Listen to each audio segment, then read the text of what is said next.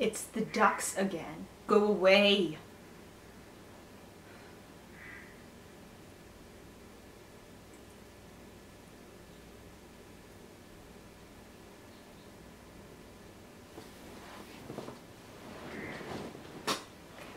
Hello! Humans and non-humans all are welcome here on this weird channel about books. My name is Kim, and this is a spoiler-free review of The Waking Land by Callie Bates. It comes out June 27th. This book was handed to me after a particularly excellent panel at YALLWEST 2017, and I just that panel was so great, okay? It was Cassandra Clare, Daniel Older, Zor... I'm gonna say this wrong. Zoraida? Zoraida Cordova um, and Megan Whalen Turner. And they were talking about fantasy in the new surreality of 2017, which I thought was a particularly salient title. Um, but they were talking about uh, how fantasy is influenced by politics and about um, how what you read can influence the way you see the world around you, and also like how things are getting a little bit worse every day. And Daniel Older kept swearing, and he wasn't supposed to be swearing. Um, and Megan Whalen Turner kind of like put a cap on that by instead of swearing while she was talking, she went, hot dog. and I just love Megan Whalen Turner.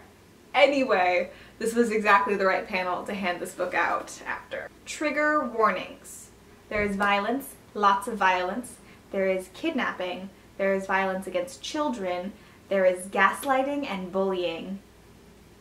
And, you know, the overthrow of an oppressive state. Does that need a trigger warning? Okay. When Elanna was five, she was kidnapped at gunpoint by King Antoine in order to prevent her father from mounting a rebellion and putting a different king on the throne.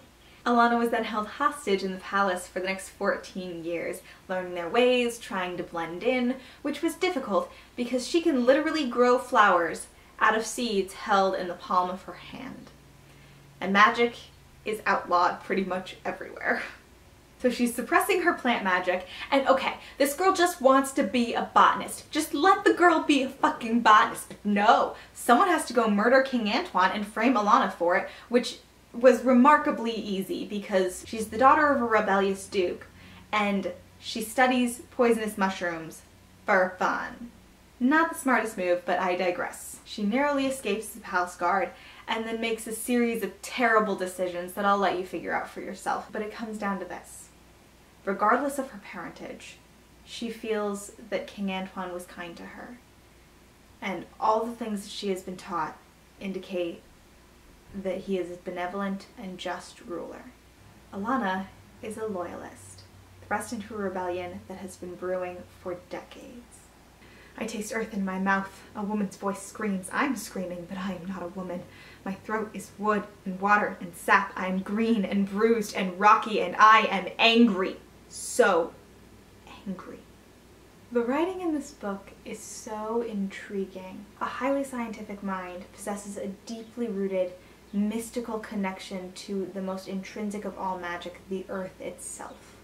And she doesn't understand how it works. It has been 200 years since anyone understood how it works. A highly scientific mind suddenly being asked to wield this literally earth-shaking power. And all she has for research materials are some folk songs and a poem. Honestly, if she didn't have a rebellion to deal with, I'm pretty sure she'd be tearing her hair out.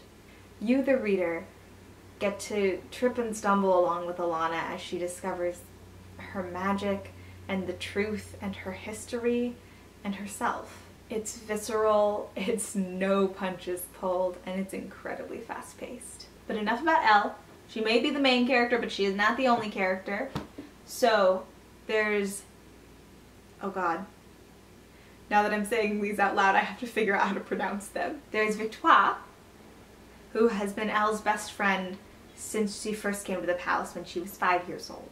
And then there's Jahan, who's a young man who keeps your secrets as well as his own. Finn, who has only ever known duty. Rhea, an absolutely terrifying young woman born of the Mountain Lords. Sophie, the ward Elanna's parents took in not long after she was kidnapped.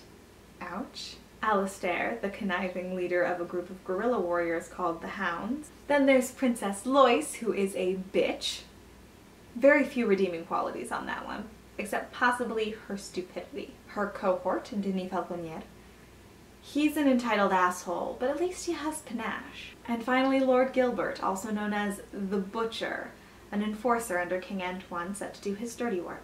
I have my suspicions with regard to his storyline in later books. That's not a spoiler, he's shifty! So I've covered all of the non-spoilery bits of the plot already, but I do want to talk about one thing. The trope where the chosen one does something capital I impossible and everybody looks at her like she's terrifying. That doesn't happen in this book. When Elanna does something capital I impossible, the Cairesians look at her like she's incredible. Elanna is the one who's terrified. She doesn't understand what's happening. There's no scientific method here, there's no hypotheses and carefully noted results, and she has almost no control.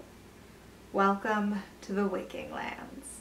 Overall, I give this book four and a half stars. It's got a political revolution, king-making, magic, and some really awesome complicated ladies. If that sounds up your alley, check out The Waking Land. It comes out June 27th and it's got some things that I really want to talk to people about and nobody else has read this book yet. When you read it, let me know that you did, please. A